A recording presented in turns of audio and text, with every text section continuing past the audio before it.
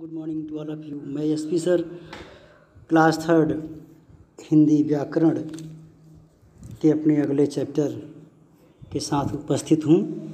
आप लोग अपने हिंदी ग्रामर की बुक ओपन कर लीजिए। Page number twenty seven chapter का नाम है कारक। कारक पढ़ेंगे अब हम। ये कारक जो चैप्टर है, ये चैप्टर बहुत ही इम्पोर्टेंट है। इसको आपको क्लास टेन तक निश्चित रूप से पढ़ना पड़ेगा और इसकी जानकारी आपको बहुत ही अच्छे ढंग से प्राप्त करना है, लेना है।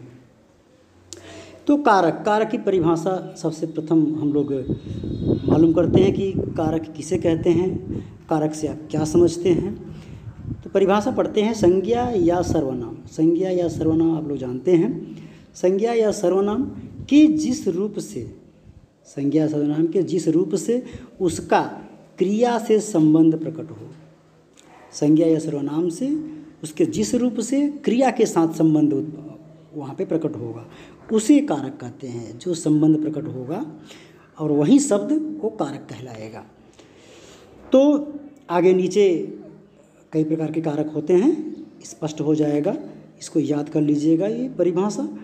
दर्शकों ने भारत और पाकिस्तान के मैच का आनंद उठाया। कुछ टॉपिक है पढ़ते हैं।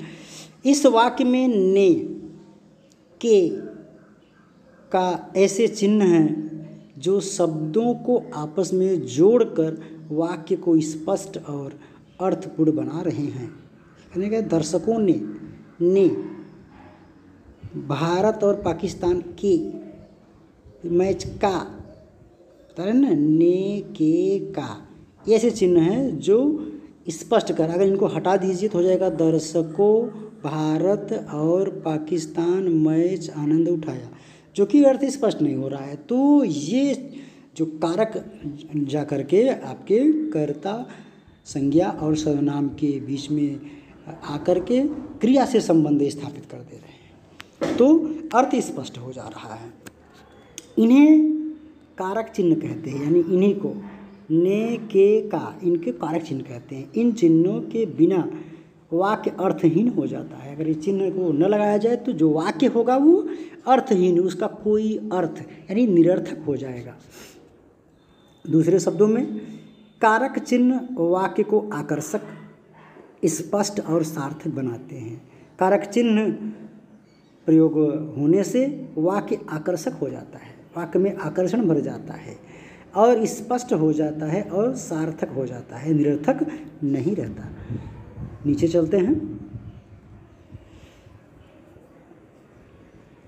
अब देखते हैं, कारक का ज्ञान कराने वाले चिन्हों को विभक्ति कहते हैं। कारक का जो चिन्ह ज्ञात कराते हैं, वो विभक्ति कहलाते हैं।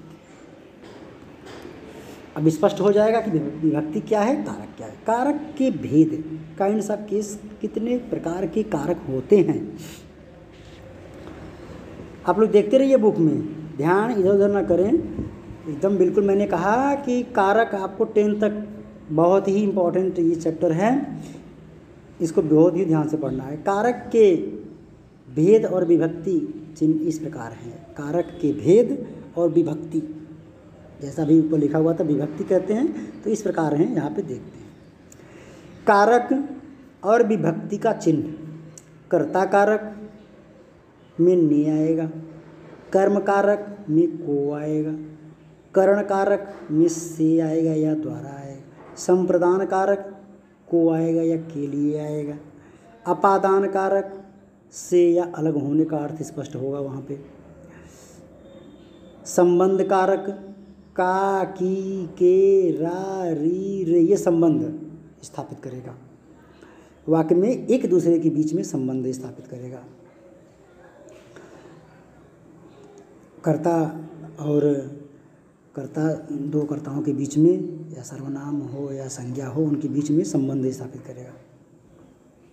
अधिकरण में होगा या पर, ये चिन्ह होगा विभक्ति का।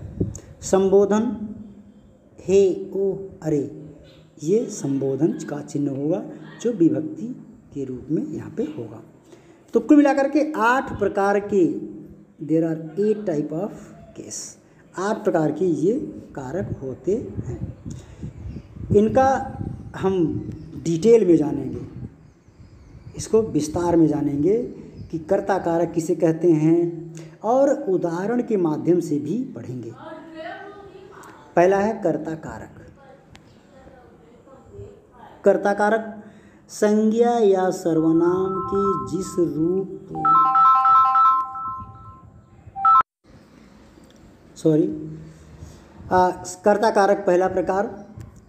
संज्ञा या सर्वनाम के जिस रूप से क्रिया करने वाले का बोध हो, उसे कर्ता कारक होता है। जिस रूप से क्रिया करने वाले का बोध हो, यानी काम का होना पाया जाए वहाँ पे।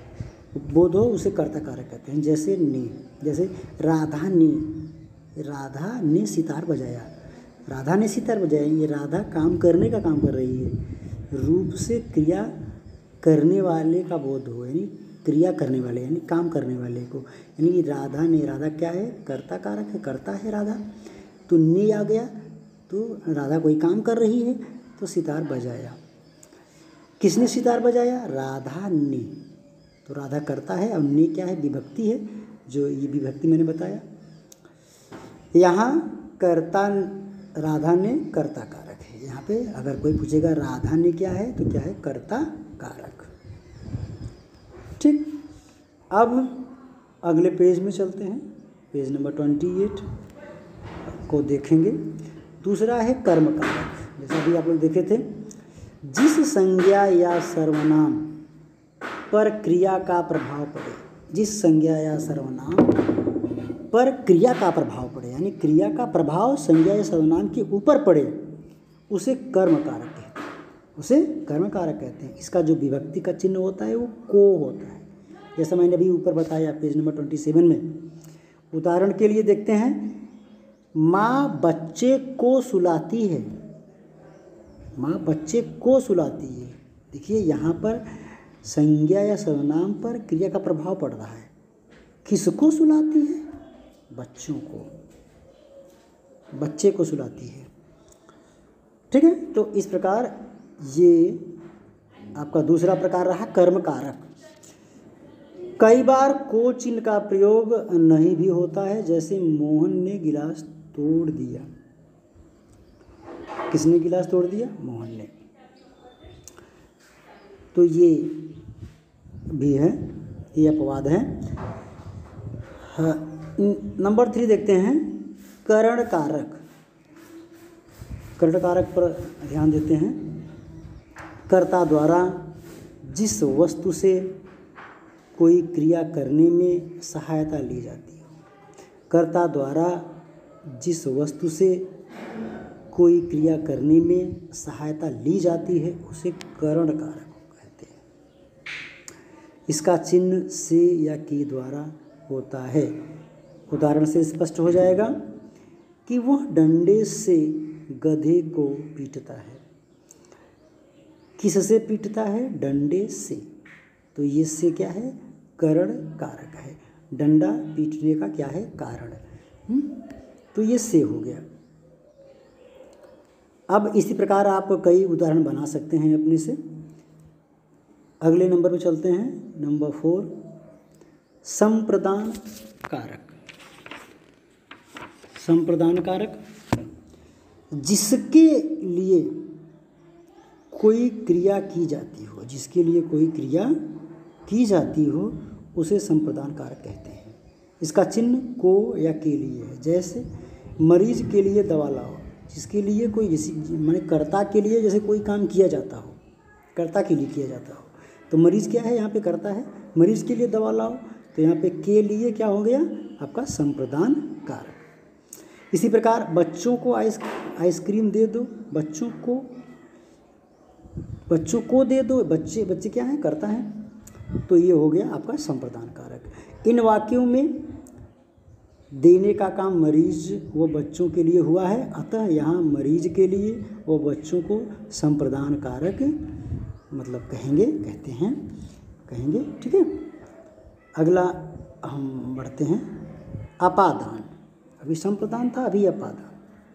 शब्द के जिस रूप से किसी वस्तु से अलग होने का बोध है, यहाँ पर अलग होने का बोध होगा कि अलग हो गया, वहाँ पर अपादान कारक होगा। इसमें इसका चिन्ह से है, इसका चिन्ह से है। जैसे सिपाही थो घोड़े से गिर पड़ा, यहाँ घोड़े होना चाहिए था। सिपाही घोड़े से गिर पड़ा। सिपाही कहाँ से गिर पड़ा? घोड़े से। यानी घोड़े से क्या हुआ? अलग हो गया। तो ये अपादान कारक तो से इसका विभक्ति चिन्ह है। यहाँ सिपाही घोड़े से गिरकर अलग हो रहा है, इसलिए घोड़ा अपादान कारक होगा। घोड़ा क्या होगा? अपादान कारक होगा। और विभक्ति क्या होगी? से। विभक्ति का चिन्ह से होगा। और घोड़ा क्या हो जाएगा? अपादान कारक हो जाएगा। क्यों? क्योंकि घोड़ा से सिपाही अलग हो जा रहा है। नंबर सिक्स पढ़ते हैं। संबंध कारक। संज्ञा या सर्वनाम के जिस रूप से, संज्ञा या सर्वनाम के जिस रूप से, जिस रूप से उसका किसी दूसरे वस्तु से संबंध चले, संबंध का पता चले। उसे संबंध कारक कहते हैं, इसका का की के इसका है? मनोज का भाई स्कूल गया। इसे मनोज और भाई, मनोज और उसके भाई में कोई संबंध है? भाई का संबंध है? तो ये संबंध कारक है। यहाँ मनोज तथा भाई संज्ञा है, मनोज भी और भाई भी। और भाई से मनोज का संबंध दिखाया गया है, इसलिए भाई का संबंध मनोज से है, इसलिए मनोज का संबंध जो है, मनोज का संबंध कारक है। मनोज का संबंध कारक होगा। बढ़ रहे हैं नंबर सेवन, इसके बाद नंबर एट है, अधिकरण कारक। अधिकरण कारक क्या कह रहा है? शब्द के जिस रूप से क्रिया का आधार ज्ञात होता है, शब्द के जिस रूप से क्रिया का आधार मालूम हो जाए, उसे अधिकरण, आधार ज्ञात कराने वाला अधिकरण कारक कहलाता है। कहते हैं, इसका चिन्ह पे या पन में या पर होता है, जैसे गुलाब का पौधा गमले में है, चिड़िया डाल पर बैठी ये आधार है। चिड़िया का आधार क्या है? डाल। तो डाल पर बैठी है तो पर। गमले का आधार क्या है? सॉरी गुलाब का आधार क्या है? गमला। तो गमला के अंदर पौधा है। तो ये आधार, इसलिए इसे अधिकरण कारक कहते हैं। ठीक है? और नेक्स्ट पेज में पेज नंबर ट्वेंटी नाइन पे लास्ट इसका प्रकार है। उसको भी देख लेते हैं, ख़त्म हो जाएगा। यहाँ सेवन का बचा हुआ यहाँ गुलाब का पौधा गमले में होने का कारण तब बैठने की क्रिया डाल पर होने के कारण गमले में तथा डाल पर अधिकरण कारक है, जैसा मैंने भी बताया। गमले में और डाल पर, ये दोनों अधिकरण कारक दर्शाते हैं। लास्ट में है संबोधन कारक। जिस शब्द के द्वारा किसी को पुकारा जाए, उसे संबोधन कारक कहते हैं। संबोधन किया जाए, जैसे कभी कभी कहते हैं हेलो, हाय, हे इसे कहते नहीं है तो ये सारी चीज़ें होती हैं। इससे होता है, इसका चिन्ह है अरे ओ जैसे कोई गिर रहा है, अरे, गिर जाओगे, ऐसा नहीं होता, नहीं। ये सब, हे ईश्वर, रक्षा करो, हे ईश्वर, यानी ईश्वर को पुकारा जा रहा है, ठीक है?